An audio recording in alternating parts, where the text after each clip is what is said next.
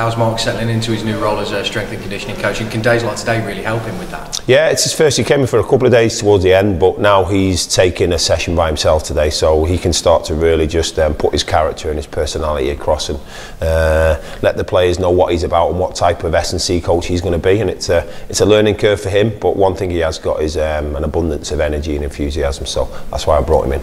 about so that was going to be my next question why, why did you bring Mark that sort of enthusiasm? You, is it about getting the right man who fits all the entire backroom staff in, in many ways and fits the players as well? Yeah as I look for I call them keystone members of staff. It's um, it's staff members that lead by example.